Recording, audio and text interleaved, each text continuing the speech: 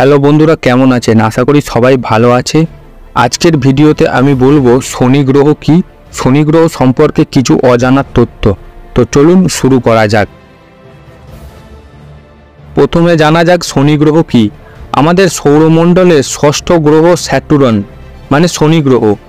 শনি গ্রহের ডায়ামিটার বা ব্যাসরেখা এক লক্ষ ষোলো হাজার চারশো চৌষট্টি কিলোমিটার। আমাদের শনি গ্রহ আমাদের পৃথিবী থেকে একশো কুড়ি কিলোমিটার দূরে অবস্থিত। রাতের আকাশে উজ্জ্বল অবজেক্টগুলির মধ্যে অন্যতম একটি হলো এই শনি গ্রহ যাকে কোনো টেলিস্কোপ ছাড়াই সহজে দেখতে পাওয়া যায়। শনি গ্রহের নাম রোমান দেবতা গড অফ এগ্রিকালচারের নাম অনুসারে রাখা হয়েছে। শনি গ্রহ আমাদের সৌরমণ্ডলের একটি অন্যতম বিচিত্র গ্রহ। শনি গ্রহ বৃহস্পতির পর আমাদের সৌরমণ্ডলের দ্বিতীয় সবথেকে বড় গ্রহ। শনি গ্রহের ডায়ামিটার বা ব্যাসরেখা আমাদের পৃথিবীর ব্যাসরেখার থেকে নয় দশমিক পাঁচ গুণ বেশি। আর শনি গ্রহের আয়তন আমাদের পৃথিবী থেকে তিরাশি গুণ বেশি। শনি গ্রহ যদিও আমাদের পৃথিবী থেকে বহু গুণ বড়, কিন্তু এই গ্রহের ঘনত্ব পৃথিবীর থেকে আট গুণ কম। আর এই জন্য আপনি যদি শনি গ্রহকে উঠিয়ে জলের উপর রাখতে পারেন, যদিও এটা অসম্ভব, কিন্তু যদি এমনটা হয়, তাহলে শনি গ্রহ জলে ডুবে যাবে না। বরং জলের উপর ভাসতে থাকবে। শনি গ্রহের আকার যদি আমরা পৃথিবীর সাথে তুলনা করি, তাহলে একটি শনি গ্রহে সাতশো চৌষট্টিখানা পৃথিবী ধরে যাবে। কিন্তু যদি সূর্যের সাথে শনি গ্রহে কম্পেয়ার করা হয়, তাহলে সূর্যের মধ্যে ষোলোশোখানা শনি গ্রহ ধরে যাবে। শনি গ্রহ গ্যাসের তৈরি একটি গ্রহ।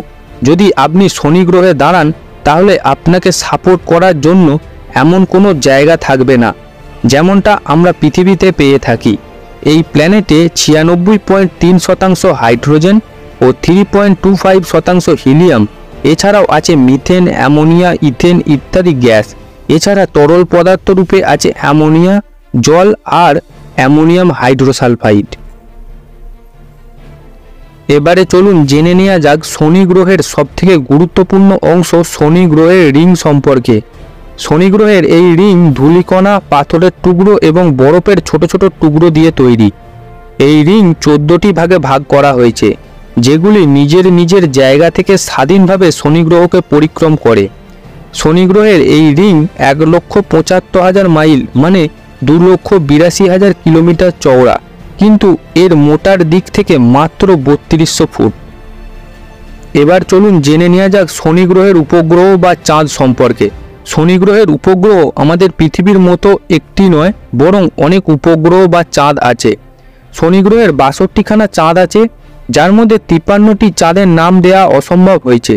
শনি গ্রহ আমাদের সৌরমণ্ডলের বৃহস্পতির পর দ্বিতীয় সবথেকে বেশি উপগ্রহ বা চাঁদ বিশিষ্ট গ্রহ। যাদের মধ্যে বেশিরভাগই ছোট্ট, কিন্তু কিছু উপগ্রহ খুবই বড়। শনি গ্রহের উপগ্রহের মধ্যে সবথেকে বড় এবং বিখ্যাত চাঁদ টাইটান, যাকে ক্রিস্টিয়ান হুইজেন্স ষোলোশো পঞ্চান্ন সালে পঁচিশে মার্চ খুঁজে পান। এই টাইটান মার্কারি প্ল্যানেট আর প্লুটোর থেকে অনেক বড়। যদিও শনি গ্রহের সবথেকে ছোট চাঁদ মিমাস, যাকে উইলিয়াম হার্সেল সতেরোশো উননব্বই সালে সতেরোই সেপ্টেম্বর খুঁজে পান। এছাড়া শনি গ্রহের সবথেকে উজ্জ্বল চাঁদ এনসেলেডাস, যাকে সতেরোশো উননব্বই সালে আঠাশে আগস্ট উইলিয়াম হার্সেলই আবিষ্কার করেন। যেটা আমাদের সৌরমণ্ডলের সমস্ত গ্রহ এবং উপগ্রহ থেকে সবথেকে বেশি উজ্জ্বল।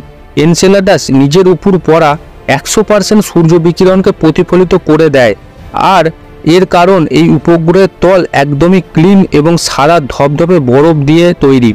আর এই উপগ্রহের তাপমাত্রা মাইনাস দুশো এক ডিগ্রি সেন্টিগ্রেডের আশেপাশে থাকে। শনি গ্রহ সম্পর্কে সবারই একটি প্রশ্ন থাকে যে, শনি গ্রহের সন্ধানে গেছে কে? শনি গ্রহ সম্পর্কে জানতে সর্বপ্রথম পয়োনিয়ার এগারো উৎক্ষেপণ করা হয়, উনিশশো তিয়াত্তর সালে, যা উনিশশো উনআশি সালে শনি গ্রহ অঞ্চলে পৌঁছায়। তখন পয়োনিয়ার এগারো শনির এক হাজার সাতশো ষাট কিলোমিটার দূর থেকে ছবি তুলে পৃথিবীতে পাঠায়। এই সব ছবি বিশ্লেষণ করে শনি গ্রহ সম্পর্কে অনেক তথ্য জানা যায়। ভয়েজার এক ও দুই, উনিশশো সালে আগস্ট মাসে শুরু করা ভয়েজার এক মিশন যা অক্টোবরের শেষ পর্যন্ত প্রায় ষাটটি ছবি পাঠায়। এরপর উনিশশো একাশি সালে শনি গ্রহের সম্পর্কে আরও জানতে শুরু হয় ভয়েজার টু মিশন যা শনি গ্রহে আরও কিছু ছবি পাঠায়। ক্যাসিনি, সর্বশেষ শনির উদ্দেশ্যে ক্যাসিনি নামের একটি নবযান পাঠানো হয় উনিশশো ছিয়ানব্বই সালে, যা দু হাজার দুই সালে শনিতে পৌঁছায়। ক্যাসিনি দু থেকে দু হাজার সতেরো এ তেরো বছর ধরে পৃথিবীতে শনি সম্পর্কে ছবি পাঠাতে থাকে। শনি গ্রহের সবথেকে বড় চাঁদ হচ্ছে টাইটান। ভবিষ্যতে মানুষের বাসস্থানের জন্য একটা উপযুক্ত বিকল্প হয়ে উঠতে পারে। এই কমলা রঙের চাঁদ আর আমাদের পৃথিবীর মধ্যে অনেকটাই মিল আছে। এখানে আছে পাহাড় আছে, মরুভূমি আছে আছে নদী, যেমনটা আমাদের পৃথিবীতে। তাই এখানে মানুষের ভবিষ্যতে বাস করলেও করতে পারে।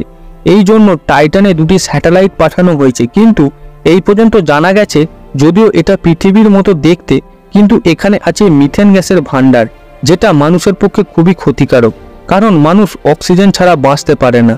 তো বন্ধুরা, ভিডিওটা কেমন লাগল অবশ্যই কমেন্ট করে জানাবেন, আর যদি আপনি চ্যানেলে নতুন হয়ে থাকেন, তাহলে চ্যানেলটিকে সাবস্ক্রাইব করবেন। আজকের মতো টাটা, বাই বাই, ধন্যবাদ, জয় হিন্দ।